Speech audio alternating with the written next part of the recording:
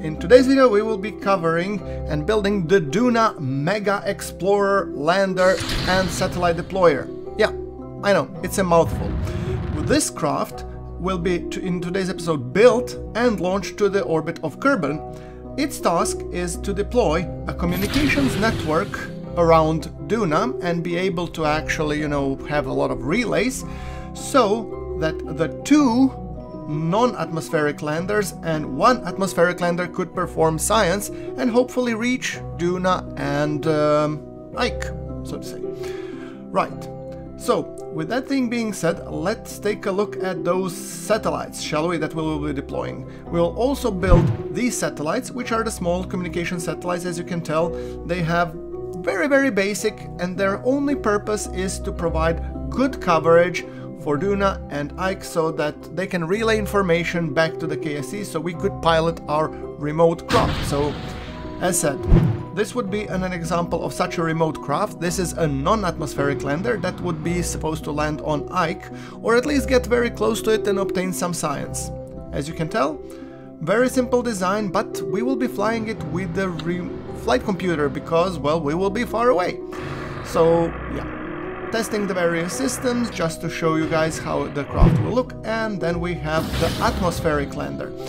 That lander will hopefully, if I succeed, be able to land on Duna and perform everything using the flight computer. Yes, because Duna has a delay of a couple of, I think, seconds and it's not really easy to pilot the craft, you know, in real time. So that's why we have this lander that would hopefully be landing on Duna. So here we go. Just showing the craft, test, and then we will get right into the building. To be able to build such a craft, we need actually uh, the communications capability to be able to go pretty far. And I'm actually thinking of researching the, either the unmanned tech or the nuclear propulsion. There we go. So, what we will be covering? We will be covering the unmanned tech, and here we have a lot of phased array antenna experiments, and I need basically this advanced antenna that has a capability of 200 gigameters, so I think I'm gonna go research on that. Now, the point being is that we need an antenna that will have the capability of reaching that far.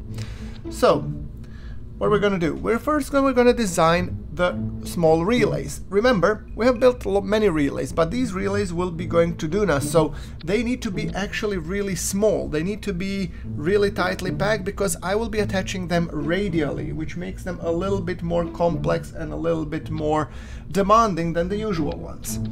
So we put a small Oscar B tank and then we will be putting a, a few engines. We have we cannot forget uh, that we have some gimbal in control and uh, obviously the relay antennas and everything there.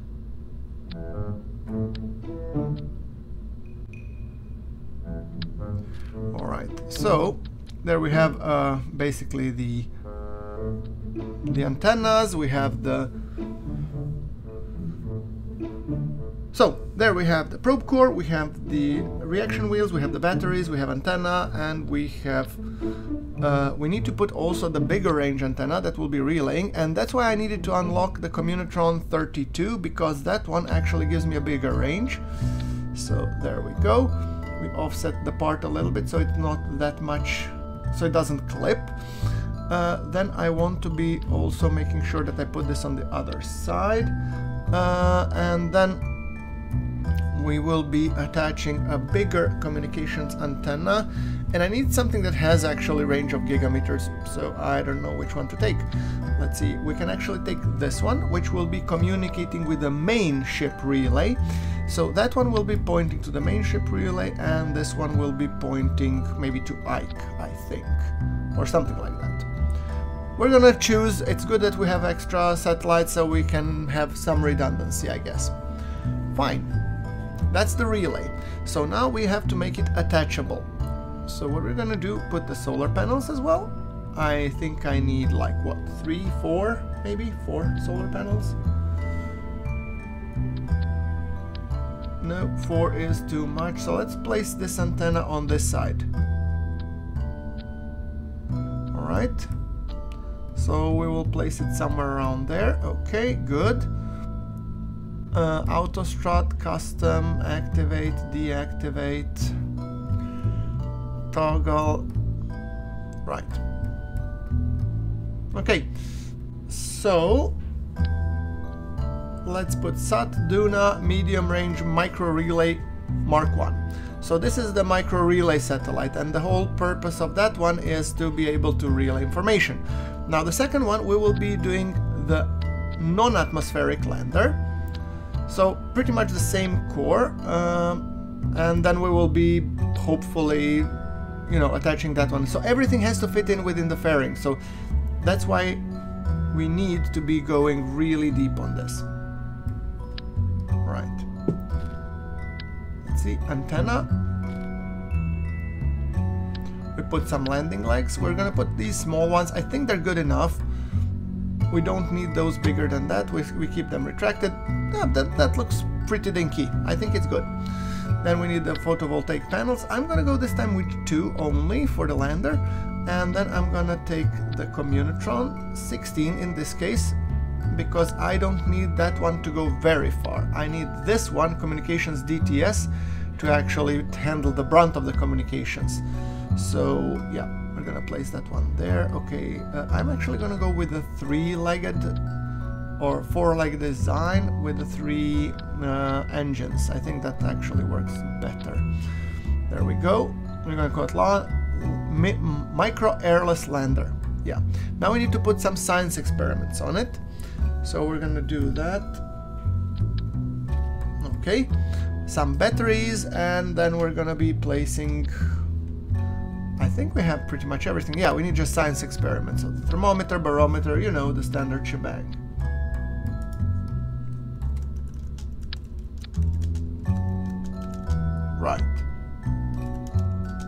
Seismometer,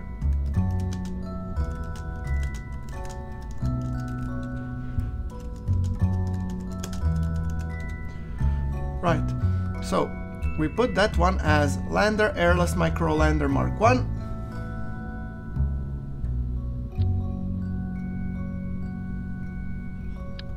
One, two, three.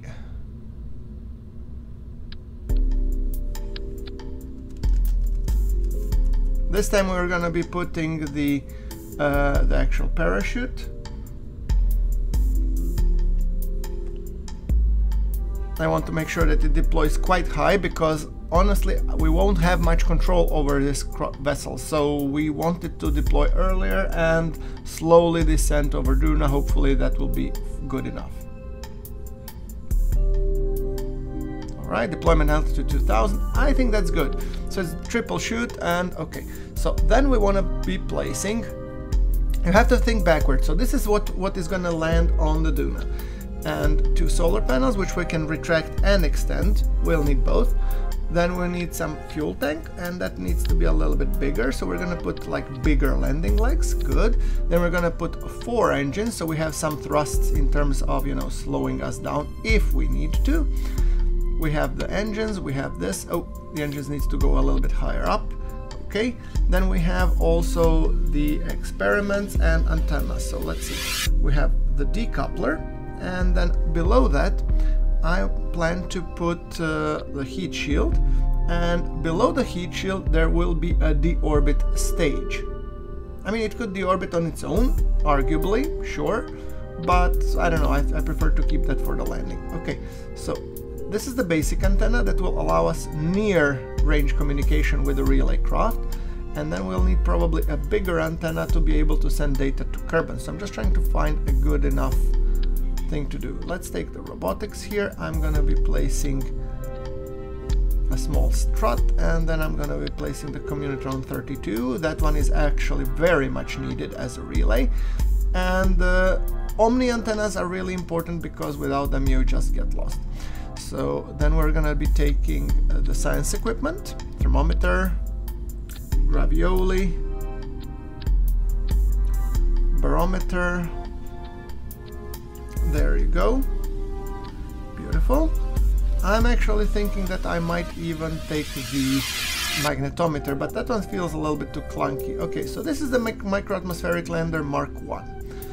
Then after then we need a deorbit stage, and for that, that one stage will help us deorbit to get into the Duna's atmosphere and maybe decelerate as much as we can. So not everything needs to be done by the uh, by the onboard computer. All right. So micro atmospheric lander Mark 1. Good.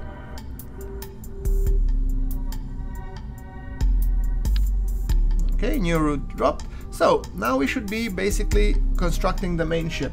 And since this is going to be the root part, we might as well continue. So what we're going to do is from here on, we're just continue the build. So what I need now is I need, I can actually place this. Ah, nah, doesn't look good. Okay, right. We will need that uh, science uh, experiment somewhere else. So what are we gonna do? We're gonna do some navigation lights, and I think those are important when you're landing. So you get, if you're landing during the dark, so you have to get an idea where you're landing. Good. Then let's go with the decoupler. Yeah. And then we're gonna go with this adapter. There we go. Actually, that doesn't look really great. Shall we do it like this? Uh, probably. Okay, so now we need four stack separators and I'm gonna place them individually because I don't want all of them to fire simultaneously. That's kind of my main shtick. And then we're gonna duplicate this exactly. And then we're gonna be placing the airless lander here, the other airless lander here, and then two relays on the sides. So that's the reason why I've been deploying everything uh, in that configuration. All right. So placed on the other side. So those are basically two airless landers and two air-full landers. Now, for the relay satellites, we're gonna be placing all four. I think actually it makes more sense. So what I'm gonna do, I'm gonna definitely place those, make sure they're auto-strutted to the heaviest part, and hopefully everything will be dandy there. So that's kind of the main body of the craft. Good. Then I need some sort of adapter. Do I have any? Rockomax? Oh, that looks good. So we're gonna take that one. I just want to be placing, this also has to be a probe core, so that's the reason why I unlocked what I unlocked, so to have this uh, probe core, because the main craft will actually serve as a communications relay going back to Kerbin, because all those small antennas, I'm not sure, they can reach Kerbin if the Kerbin is close, but if Kerbin is further, then they can't. So that's something that we need to think about. So now I'm trying to find an antenna that's capable of doing just that. And yeah, we have these big antennas and I have a smaller antenna here. So yeah, I'm gonna place this one. That will be enough. It's 25 gigameters range and I'll probably need a bigger relay, I, I suspect. So, right. Okay, let's place another one. I'm looking for now a bigger fuel tank. Okay, we have gigant storage container. I don't need storage container, I need a fuel tank. Okay, why would I want this? Okay, guess not. I'm just trying to figure out how does this work with the gigant. Okay, so if I go with like the fairing, so we're gonna put everything in a fairing. There we go. That looks good. Perfect. So we're gonna place it like that and then we're gonna do the following. Let me just check uh, a big reaction wheel. I'm gonna place two. I need really good control authority here. Tank and then let me see what engines do we have that would be, help us decelerate around Duna and orbital maneuvering. Poodles. Yeah, those are not bad. They have good thrust to weight and we have Skipper as well. Shall I play Skipper instead of Poodle? I think... I think actually Poodle would be more efficient, so I'm gonna go with that one. Let's place another decoupler, and then for the transfer stage I might be using the Skipper. So let's see, we, we place it like this. And then we put place the Octopus engine. I actually might need another transfer stage 8323. Yeah, it's enough, but I don't know, I'm starting to think maybe we want a transfer stage in the middle. Something like, let's say, we place another Ghidorah tank, yes, and then we put the skipper. Right. That sounds actually a lot better. And then I can place another and I can place this one. So it is a little bit on the hefty side, but I think this will actually help everything and have us much more delta V than we need to. As you know, I always uh, over-engineer my craft, and that means we will put up two side boosters. And for those, I'm gonna go with the huge Ghidorah ones. Yeah, okay, there we go. Gonna go with a Falcon 9 look, or Falcon Heavy look if I can, because I just think it's an awesome vehicle. There we go. Place it a little bit. I'm just trying to get a good alignment with it. Okay, there we go. Beautiful. Let's put a top cap above. Not you. Yeah, you. Perfect. Alright, so what I'm gonna do, I'm gonna place the fuel lines so they can feed into the main stage, the bottom stage, not the top stage, yes, because that then there wouldn't be a point, because that fuel is not being expended. So, uh, right, there we go. Okay, now that looks like 11,000 meters per second. I mean, it's only for the top stages. So I, until the top stage we have 9,000, which is more than enough to get to Duna. Let's place in some fins. That looks good. And let's see what do we have for the launch pad. Oh, it's a Falcon... It's a Falcon Heavy launch pad. Look at it go. It's beautiful. Let's place it down and there we go. Making sure that our staging is correct and then we're supposed to test this. Oh, right. I have to uh, I have forgotten to actually add Separatrons. Yeah, Separatrons for this such a large vehicle would always be a good idea because, well, when we dump the boosters we don't want them slamming them in our core stage because that wouldn't be all that good. So, there we go. Move away, everything looks dandy. Toggle, decouple. By the way, I always test all of my crafts, so just you know, it's not really that I'm just, you know, doing this and then launching and whatever happens, happens. Although it would be really a proper Kerbal way how to do it. So I'm just making sure that I'm adding more communications equipment, making sure that I place everything that needs to be there and then we're gonna do a test. Okay, starting the simulation. Three, two, one, and go! And clearly, one of the issues was that we blew out the launch pad. You don't say. Alright, let's see what else we can do. This is actually, I don't always do testing, sometimes I do. Oh, this fairing separation looked hideous. Okay, second note. Let's do a quick test on how much uh, delta V we have quite a lot. So then we have 7,000 meters per second in in the total craft. Then we have 3,000 in this stage.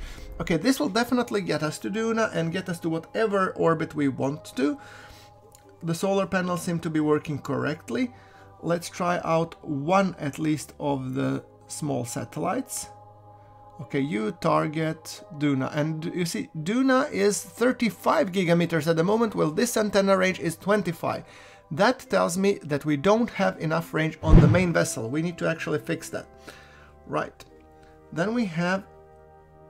Then we need to test the satellites. Satellites decouple. And they extend the antenna, solar panels. Oh, do I only have a single engine on them? I mean, it works, but it's a single engine.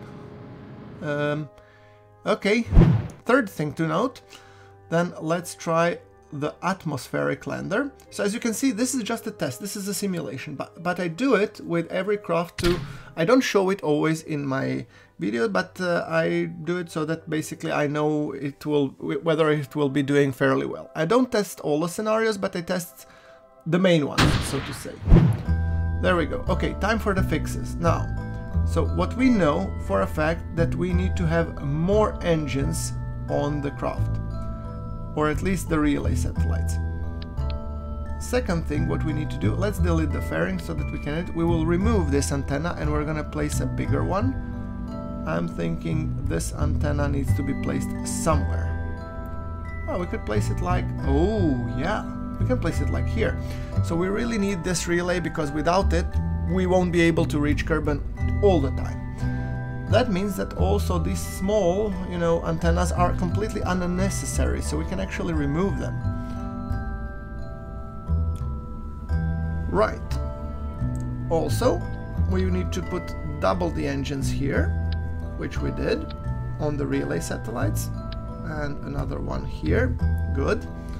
That covers it, and then we need to be able to, okay, these needs four, four, two, remove the antennas, good.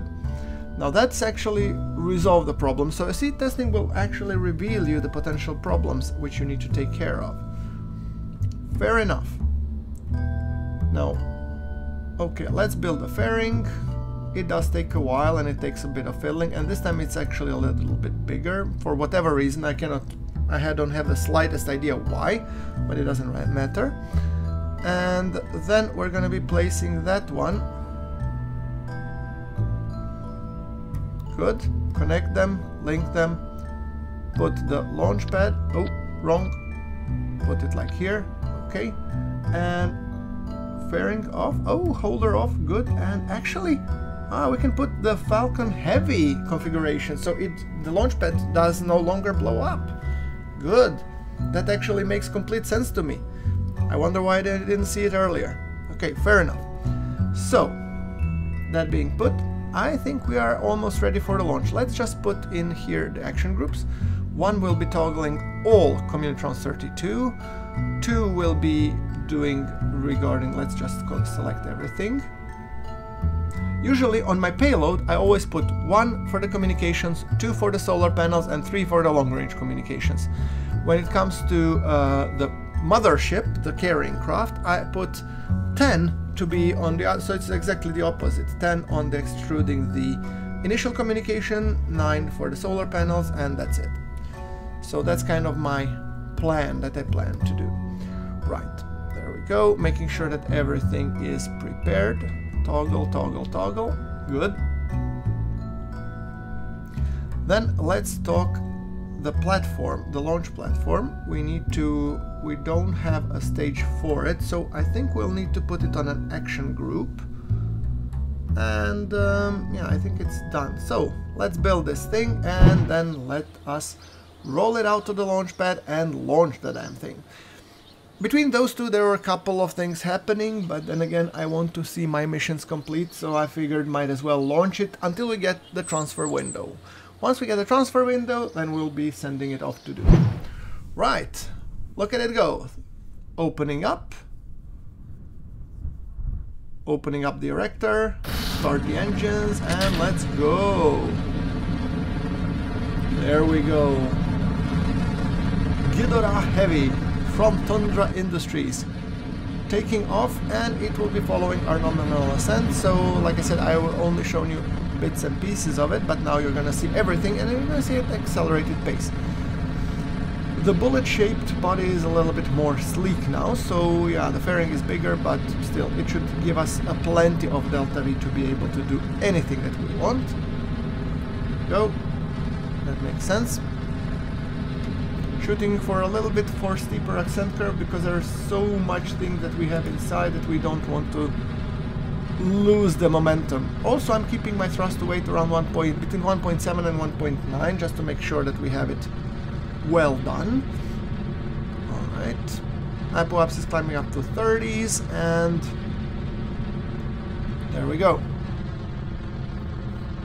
40, so slowly climbing as we are pitching more downrange and it, we will as always go for a 100 or 105 kilometer orbit. This is a transfer orbit to get us to Duna, so nothing really weird about that. Alright, Apoapsis is going to go all the way to 100, getting ready for stage separation, hitting the staging, bye-bye boosters. And our apoapsis we're going to go for 105 so that we don't collide with the other objects that we have at 100 kilometers orbit. It's always good to separate your objects a little bit physically so you make sure that nothing gets, you know, things don't collide because that's a bad idea. Right. Okay, circularization burn, we want to take 105 by 105, that's good enough. Making just tiny adjustments, pointing maneuver prograde, and then we will be ditching the fairing. And extending the solar panels, obviously. And once we're done with that, I think we're gonna just keep it until the transfer window of opportunity shows. I mean, that's the plan, so alright. There we go much nicer fairing separation. We fixed the clamshell deploy, deploying the solar panels and deploying the Communotron. Good. Everything looks nominal. Beautiful. So burn in 3, 2, 1 and ignition. We will have plenty of delta V. If you think about it, we have 9,000 meters per second and we will only we won't even expand the core stage until we get circularized. So we have we'll have more than enough to get basically ejected to Duna and also circularized because I'm not gonna go for the aero brake. I don't have the heat shields to do so. So what I'm gonna do is gonna be powered in orbital insertion. There we go. So 50, 20, 10, good. Done. Beautiful. All right. So only thing that's left now is to set up the maneuver node and uh, wait for the transfer window. So there we go. We're gonna go, we're gonna take the stock maneuver tool, take to Duna, create, and basically the maneuver node shall be happening in 292 days. Well, that's actually a lot. I'm just gonna make sure that I add it to my Kerbal alarm clock because I like it more than the stock one. And there we go. So guys, if you have liked the episode so far, do fling a like at this, it helps me out a great deal. And for more KSP content, do check out the link in the top right corner. It will be suggested to you by my avatar saying, okay, you should probably check out this one. And soon enough, KSP2 will be launching, so I will for sure be covering that when it comes. Thank you for watching, this is GrunfWorks signing off.